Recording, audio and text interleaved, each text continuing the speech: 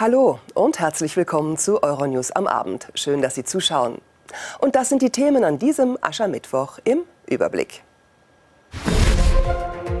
Säbelrasseln und Redeschlachten. Knapp drei Monate vor Europawahl dominieren EU-Themen den politischen Aschermittwoch.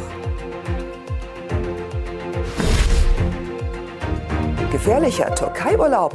Ankara dementiert. Berichte über drohende Festnahmen deutscher Urlauber seien haltlos. Kritik am Irak wegen Festnahme und Folter von Kindern unter Terrorverdacht.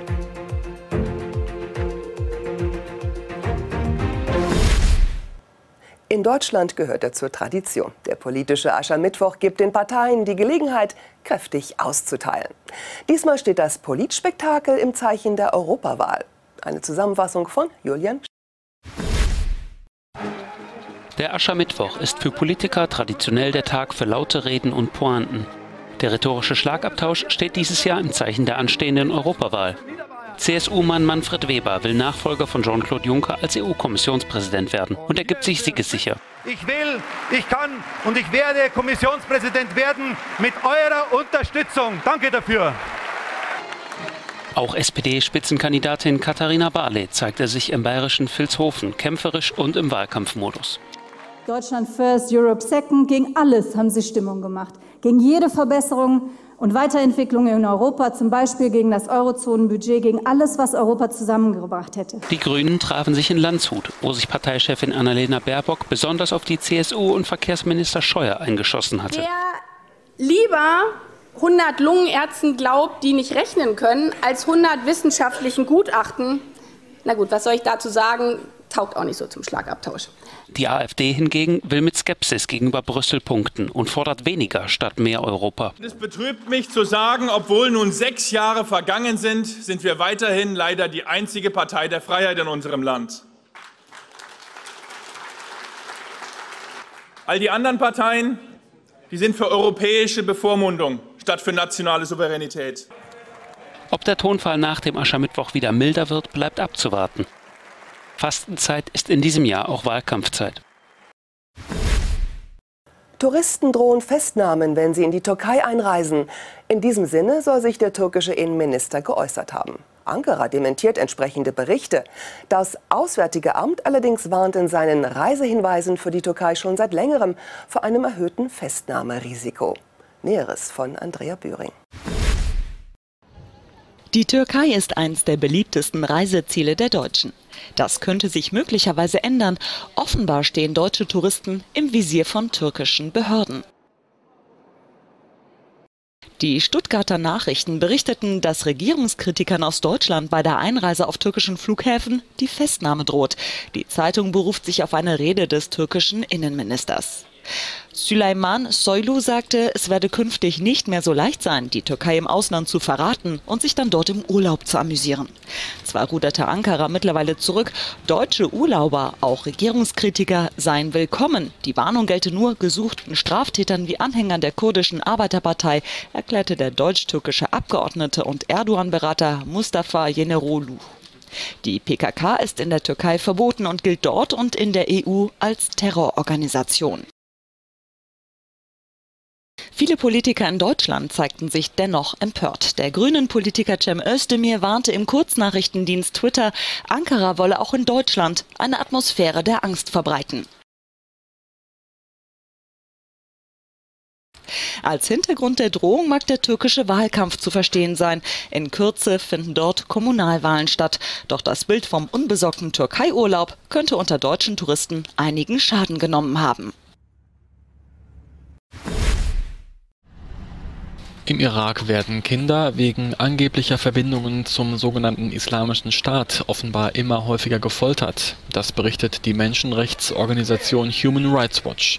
Irakische und kurdische Regierungsbehörden sollen auf diese Weise Geständnisse erzwungen und Hunderte von Kindern wegen Terrorismus angeklagt haben.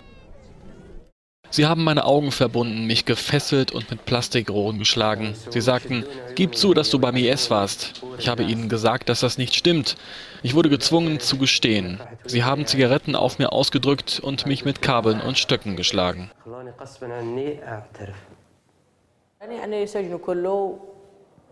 Ich wurde für ein Jahr und vier Monate eingesperrt. Von meiner Familie getrennt zu sein ist schlimm. Ich habe sie schon so lange nicht mehr gesehen. Ich denke den ganzen Tag an sie.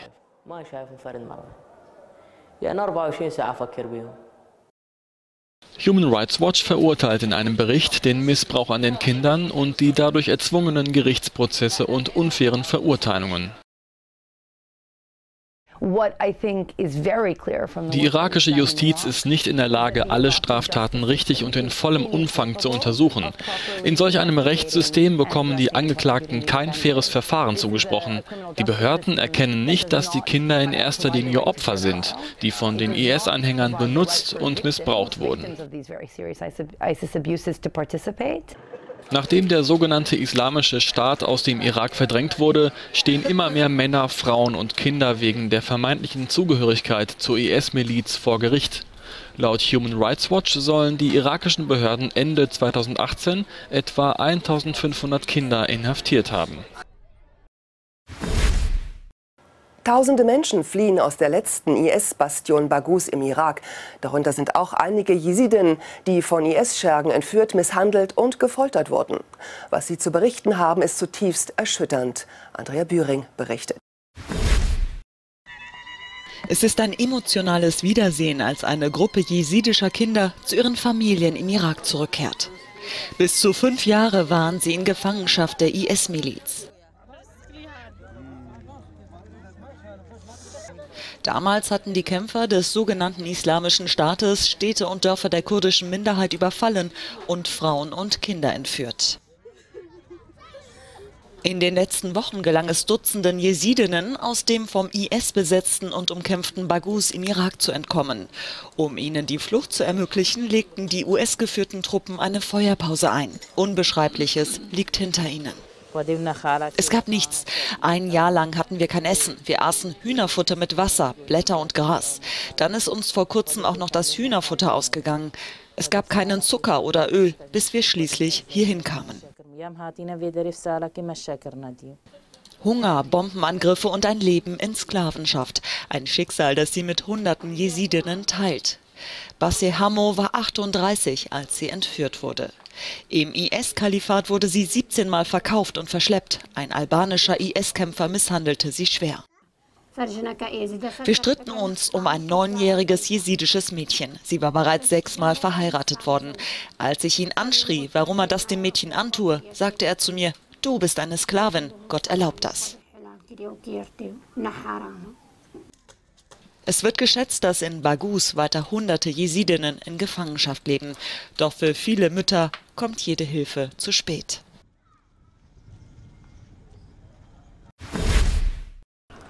Die österreichische Regierung will IS-Rückkehrern den konsularischen Schutz entziehen. Eine entsprechende Änderung des Konsulargesetzes soll am Mittwoch im Ministerrat beschlossen werden. Das Konsulargesetz regelt den Schutz von Bürgern im Ausland, wie zum Beispiel Hilfeleistungen oder auch Rückführungen. Wir werden diese Menschen nicht zurückholen, sagte Innenminister Herbert Kickel von der FPÖ gegenüber der Nachrichtenagentur RPA. Sogenannte Foreign Fighters, Menschen, die im Ausland gekämpft haben und in Österreich die öffentliche Ordnung und Sicherheit gefährden, können sich dann nicht mehr auf den Schutz des österreichischen Staats verlassen. In den vergangenen Jahren haben mehrere Länder Gesetze beschlossen, nach denen diesen Personen die Staatsbürgerschaft entzogen werden kann. Sind diese Menschen dann staatenlos? Nein. Zwei UNO-Übereinkommen, die von vielen Staaten ratifiziert worden sind, verhindern Staatenlosigkeit. Das heißt, den ehemaligen IS-Kämpfern droht in Österreich zwar die Ausbürgerung, aber nur unter der Bedingung, dass sie eine zweite Staatsbürgerschaft besitzen. Experten warnen, dass eine Ausbürgerung die strafrechtliche Verfolgung von ehemaligen IS-Kämpfern erschweren würde. Die Zuständigkeit würde auf Staaten übergehen, in denen vielleicht keine Strafverfahren stattfinden. Nordkorea hat offenbar damit begonnen, eine zuletzt stillgelegte Raketenstartanlage wieder aufzubauen.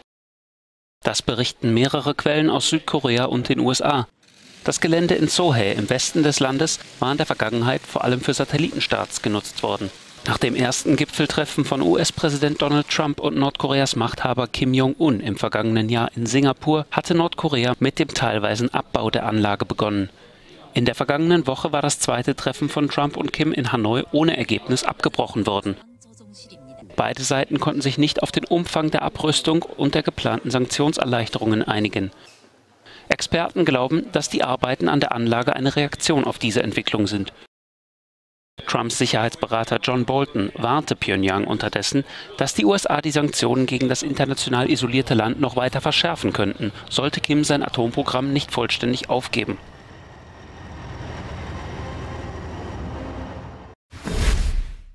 Frankreich will bei der Besteuerung großer Internetkonzerne nicht länger auf Europa warten. Die GAFA genannte Digitalsteuer soll rückwirkend ab dem 1. Januar gelten. Über das Gesetz wird im April in der Nationalversammlung abgestimmt. Sebastian Zimmermann hat die Einzelheiten. Amazon, Facebook, Google, sie alle sind Internetriesen, die hohe Einnahmen erzielen. Die Firmensitze liegen jedoch in Steueroasen wie beispielsweise in Irland. Gegen diese Steuertricks will Europa entschiedener vorgehen. Besonders Frankreich pocht auf eine schnelle Lösung. Paris schlägt nun eine Steuer von 3% vor. Gelten soll die Steuer für Konzerne, die in Frankreich mit Datenhandel und Werbung im Internet Einnahmen erzielen. Niemand kann akzeptieren, dass die größten digitalen Unternehmen in Europa 14% weniger Steuern zahlen als andere Unternehmen. Wenn jetzt jemand sagt, Frankreich würde sich dadurch vom Rest abheben, den erinnere ich gerne daran, dass 23 von 27 EU-Mitgliedstaaten für diese Steuer sind. Sechs EU-Staaten wollen sie in die Praxis umsetzen. Auch in Australien und Indien will man eine solche digitale Besteuerung einführen. Un certain nombre de consommateurs ont mis aussi en place une taxation du numérique. Für Frankreich sei dies so wörtlich ein einfacher und effizienter Plan zur Besteuerung von Internetgiganten. Man werde nun bis Ende des Jahres bei der Organisation für wirtschaftliche Zusammenarbeit und Entwicklung OECD auf ein internationales Abkommen drängen. Betroffen sind rund 30 Unternehmen, die überwiegend aus den USA, aber auch aus China und Europa stammen.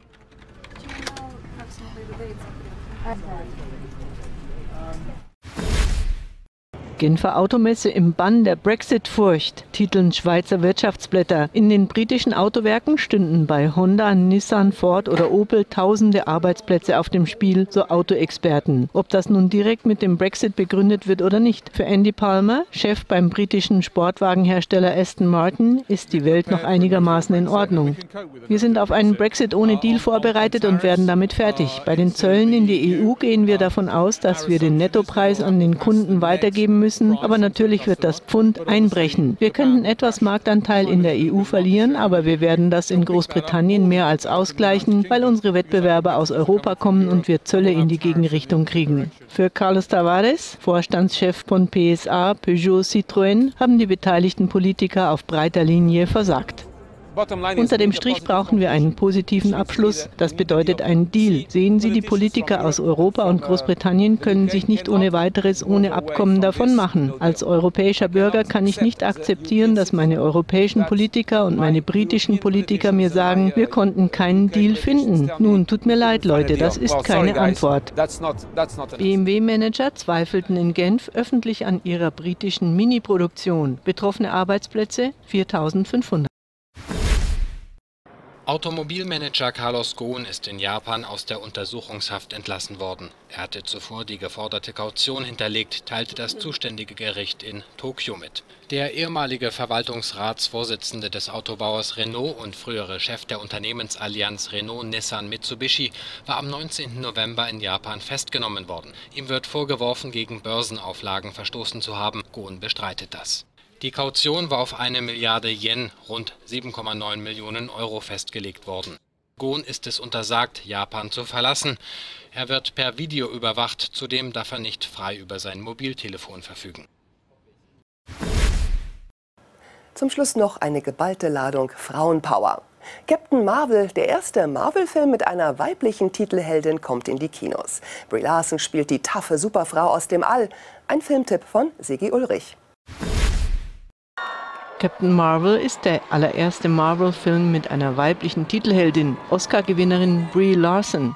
Sie ist im Film eine Air Force-Pilotin, die die Explosion eines futuristischen Antriebs überlebt, daraufhin unermessliche Superkräfte entwickelt und zu Captain Marvel wird. Captain Marvel ist das 21. Superheldenspektakel aus dem Marvel Cinematic Universe, zu dem unter anderem Spider-Man, The Avengers oder die Guardians of the Galaxy gehören. Der Regisseur und Drehbuchautor da ist viel Action drin, Spektakel und die schönsten visuellen Effekte, aber auf einer anderen Ebene, meine ich, haben wir Herz eingebracht und eine emotionale Reise, auf die sich Carol Danvers begibt und das Publikum mitnimmt.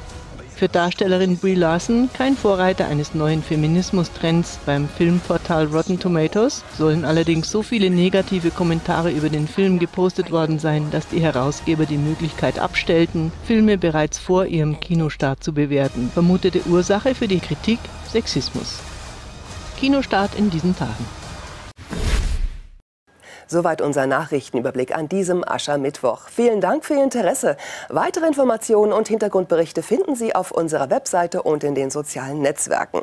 Jule Schaar fängt Sie morgen an dieser Stelle. Ihnen noch einen schönen Abend.